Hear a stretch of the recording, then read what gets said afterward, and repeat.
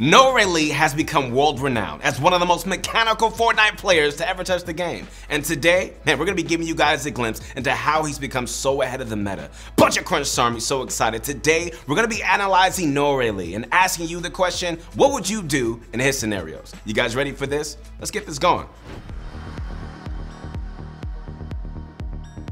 In this clip, Lee makes a very simple mistake, but he knows exactly what he has to do in order to recover from it. All right, so you can see Noah bounce her up and, you know, just go for a risky bloom fight, something that you probably don't want to do in this sort of a scenario, but Noah is one of the best, right? And he reacts like lightning when he realizes that engaging in a fight this way is a bad choice. He knows exactly what he has to do in this situation, but do you? Okay, so when you're this low and your opponent has a charged shotgun, what should you do? A. Edit from the top and just go for a risky peek, hoping that your opponent is just as low as you are. B. Box up, heal, and then take the fight to your opponent. C. Play very patiently. Let your opponent get away, but survive for the placement points. If you picked option C, then you are indeed correct, my friends. Noah backed off, he played patiently, and he let his opponent make a getaway. It may have lost him, you know, some immediate points by sacrificing the elimination, but Noah had put himself into an extremely risky situation, and there was really no telling if he would have actually come out on top. So not to mention the risk of potentially being third party. Instead, he had more time to refresh his health, you know, getting right back up to 150 HP, and he ended up having a better positioning later down the line. So what does this tell us?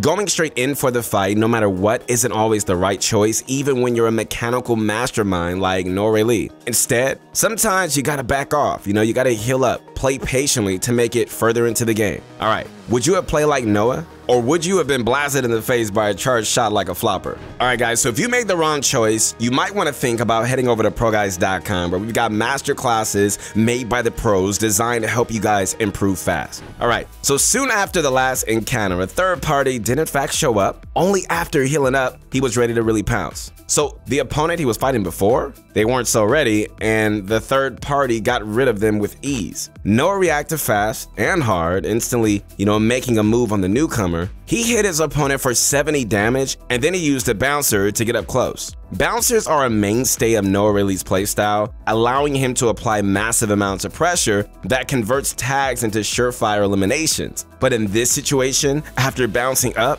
what would Noah do next? A. Play patiently again before engaging in a box fight. B. Keep on applying pressure until his opponent makes a bad move. Hmm. The obvious solution, guys, is B. Like after using a bouncer to get up close, Noah made sure to be on his opponent until that flopper was just flipped back to the lobby. His opponent tried to heal up and succeeded. But while he was healing, he wasn't paying any attention to his piece control. Noah easily took his opponent's wall and he coned him, which allowed Noah to end the fight in three easy tag shots. Pressure, piece control, and making great use of an opponent's mistakes are, are all the things that Noah really excels at. And he did this all in this encounter. So taking your opponent off balance, right? Like, and then keeping them there is the key to succeeding in competitive Fortnite. And the way you do that is by constantly applying pressure. All right, guys. So for our question of the day, I want to ask you guys, like, how do you utilize pressure in your Fortnite games? Like, are you the sort of person who always sticks to their opponent no matter what? Or have you learned how to play passive from time to time?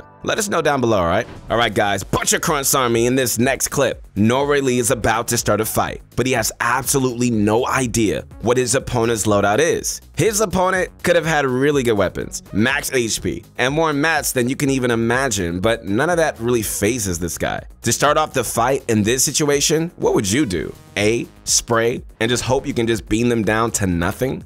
B. Jump in their box and try to get an instant kill with your shotty? C play safe, utilize piece control, and uh, pressure them out. Okay, so if you answer C, that you should play safe, utilize piece control, and use pressure and just take the elimination, then you're obviously been paying attention because that's the right answer, guys. However, what Noahreyli does isn't just your normal, you know, easy piece control. It's actually some of the most advanced piece control that you can do in Fortnite these days. Noah knows exactly how to position himself and his builds that he manages to face straight through his opponent's box and basically boxes him up without even having to go through the effort of taking his enemy's wall. So this technique is super advanced And a lot of the pro scene didn't even know it was possible until players like Noahreyli and Vadeal popularized it. To this day, all right, Noah is still one of the best at using techniques like these, as well as, you know, taking very smart peeks, which is why he's managed to become one of the most versatile fighters in the business. Okay, so in this example, Noah easily faces a Conan to his opponent's box, forces him to make another box, and then just faces another stare. Clearly, all right, his opponent couldn't figure out how to counter the never-ending phase onslaught, and he managed to just easily crack his shield. So once his opponent was low, he jumped straight in for the one-shot elimination. Now, sure, you know, not everyone can just phase with the ease that Noahreyli just pulls off. I'm kind of jealous. But pressure and piece control are still your number one key tools to advance in the game, right? All right, so our final clip for today's video. In this scenario, Noah has to stay boxed up so that he can survive, and he's already at seven eliminations, and this could just end up being a huge game if he manages to emerge from Salty Towers alive. All right, what would you do if you were in this situation? A, go for a peanut butter peek, and then, you know, risk being one-shotted. B, stand your ground and hope for a quick kill. C, run away, you know, use all your mats and resources and just risk being W keyed. Did you pick B?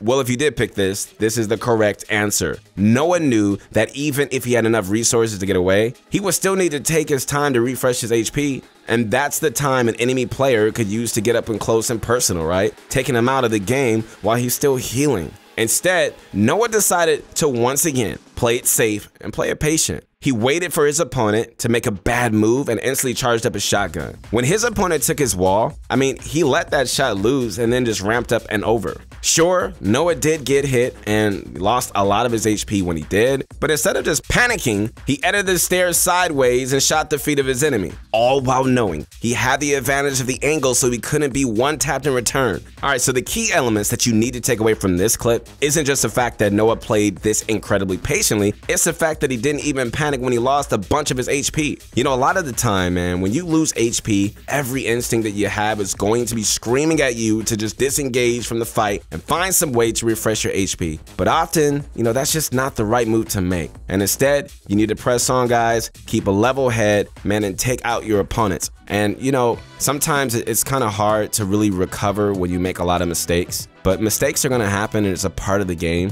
It's a part of us being human. It's a part of us getting better. And so when you do make mistakes, don't like quit. Don't quit. You got to keep going. You got to keep moving. And just because you made a mistake doesn't mean that you can't plan, you know, for the next time to make a better decision. You can do it, guys. I believe in you. All right, guys, so over the course of the past year, Noahreyli has risen up through the ranks to become one of the best fighters the Fortnite scene has ever had, right? And by taking notes from his play and figuring out, you know, where we're going wrong in our own games, improvement is just a few steps away. Bunch of crunch homie, hope you guys liked the video. Subscribe to the channel and make sure to connect with me on my Instagram at Your Motivation Guy. I'm so proud of you guys. Keep grinding, and I'll see you soon.